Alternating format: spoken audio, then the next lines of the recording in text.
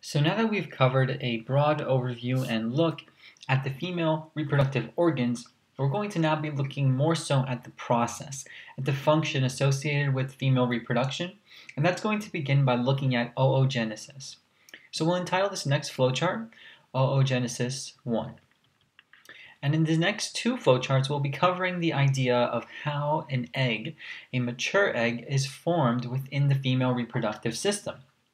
So in order to begin, we're going to actually start at the same point that we start with in the male spermatogenesis side. It's actually going to be referred to as the primordial germ cells. And that's our first point of oogenesis. So what we want to keep in mind right now is that we have to turn an initially diploid cell state, primordial germ cells are initially diploid, into a haploid cell state because we want to create a gamete. We want to create an oocyte.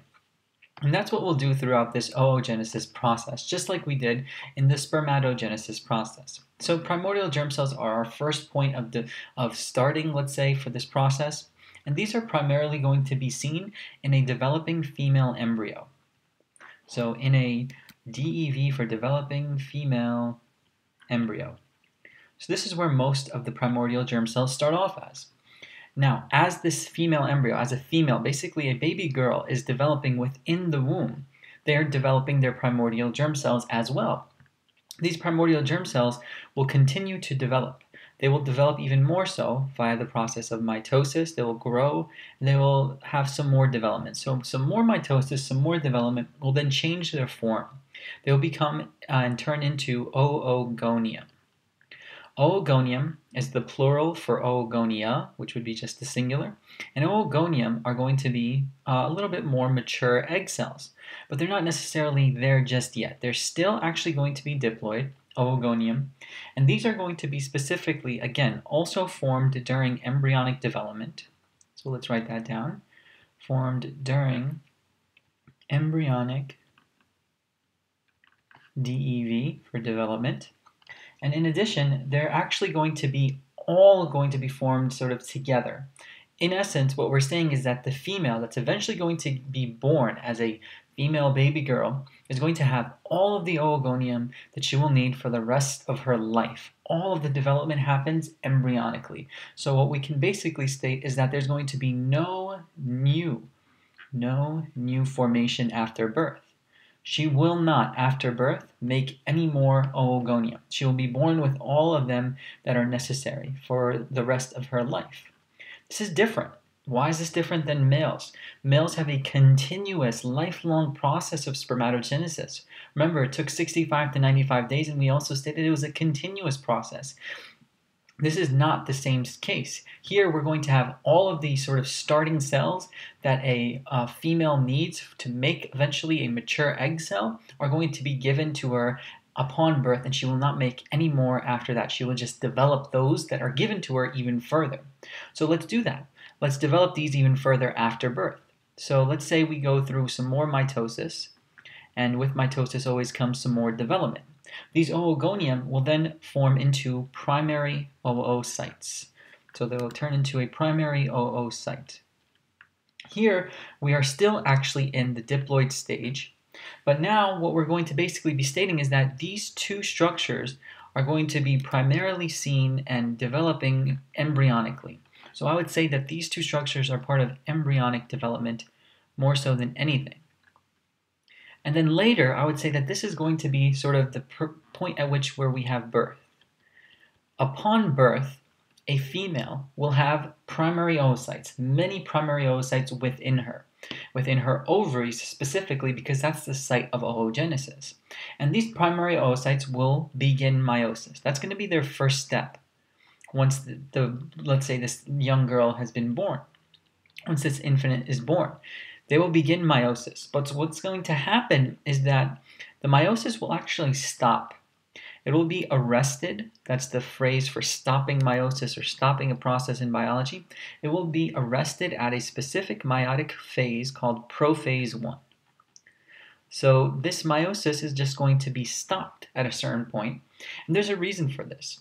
What we have to understand is that a female will initially be born with all of the egg cells that she will carry for the rest of her life.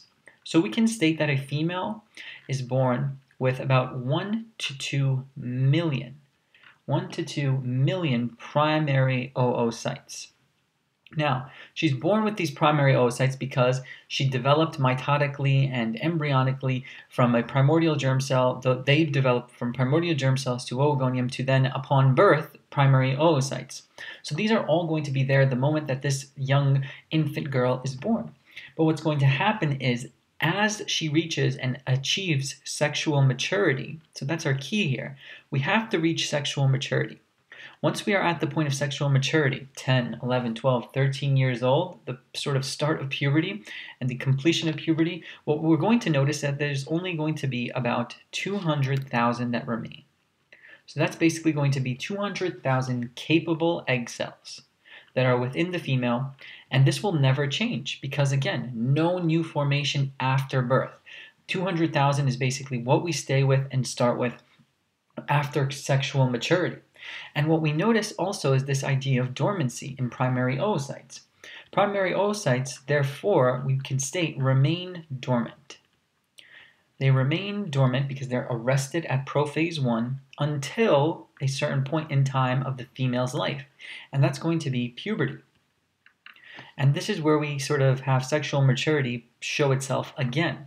Remaining dormant until puberty is because of the fact that sexual maturity hasn't been achieved. What's going to happen is once sexual maturity has been achieved or is begun is beginning is beginning its process within the female body, you're going to have hormones. Hormones are going to be uh, very much well produced during puberty. And what's going to happen is sexual maturity.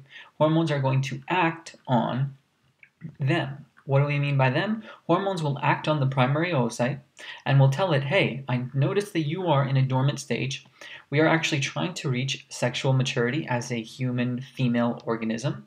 So these hormones, these messages are going to say, hey, you should not be dormant anymore. You need to become sexually mature. You need to become a sexually mature oocyte. You need to become an oocyte that's functional and that can be fertilized.